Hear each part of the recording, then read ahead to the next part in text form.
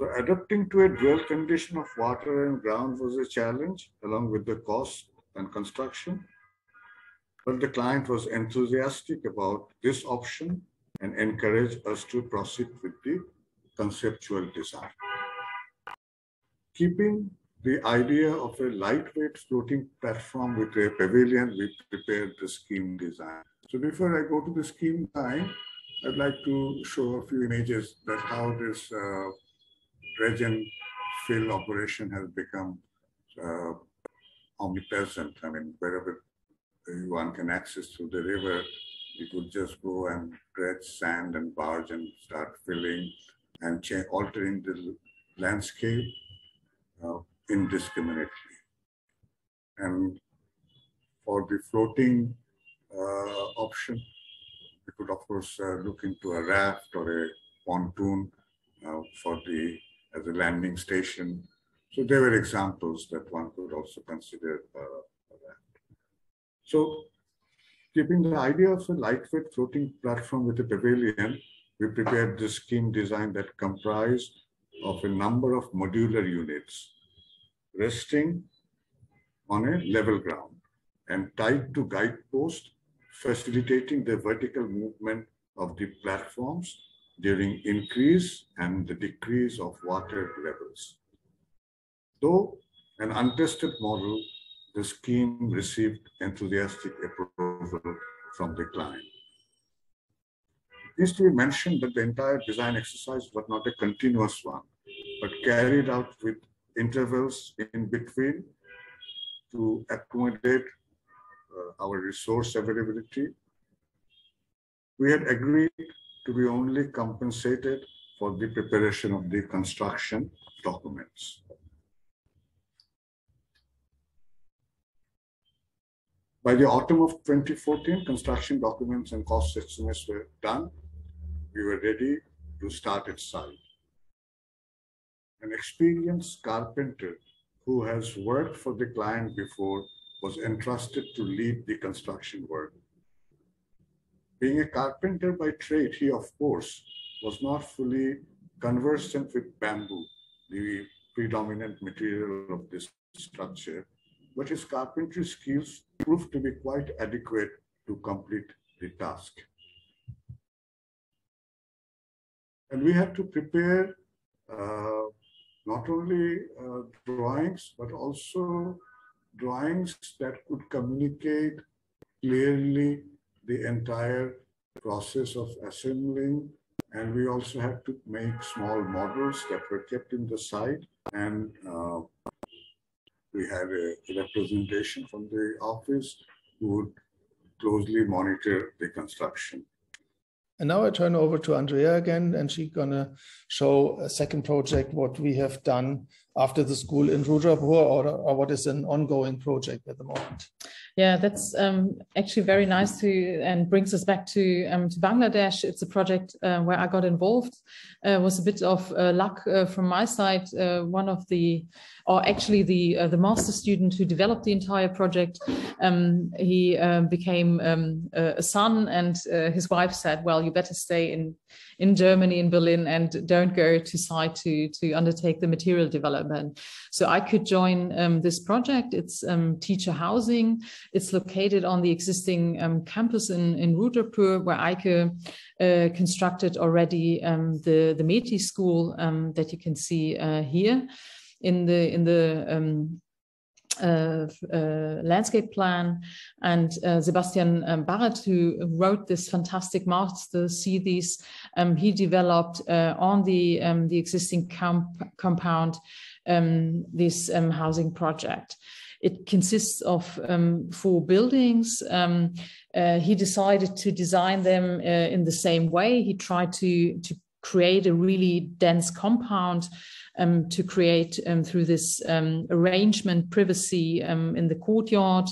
And um, the um, the flats are quite generous, I think, but well designed. they they are flexibly in use. They could be used by a couple uh, with kids, or they could also be used by two different teachers.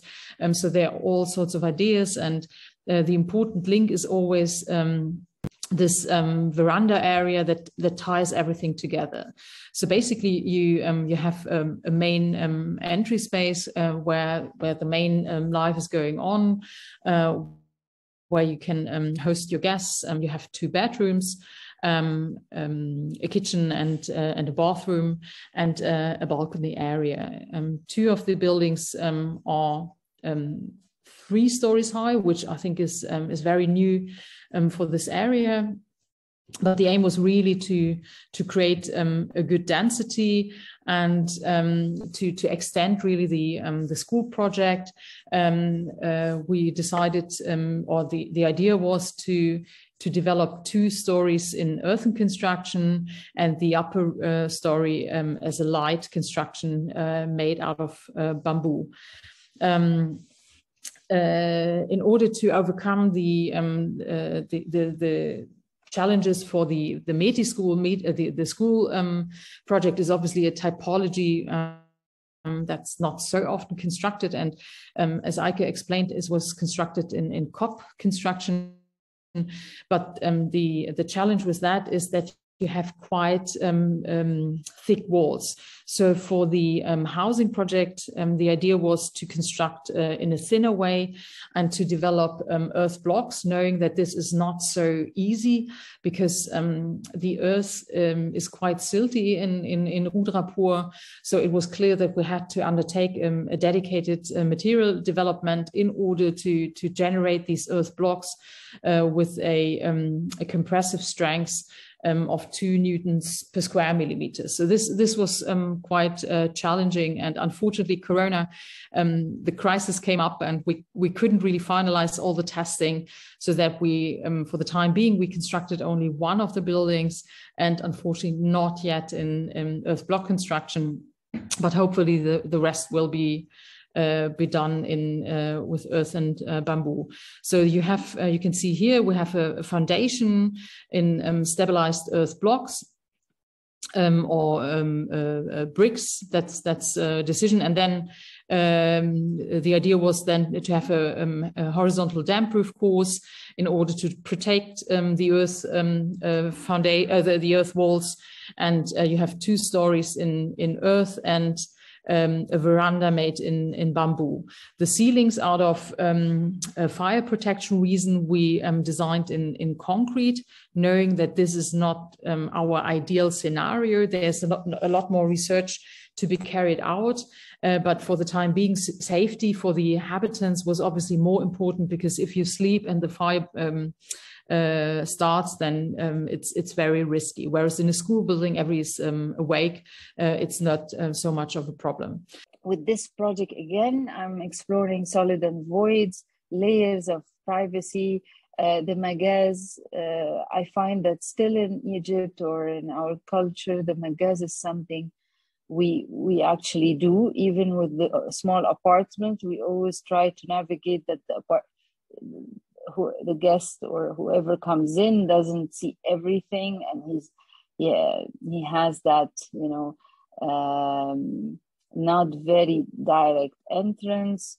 So i was exploring these notions from my gaze from in between from what's outside and what's in.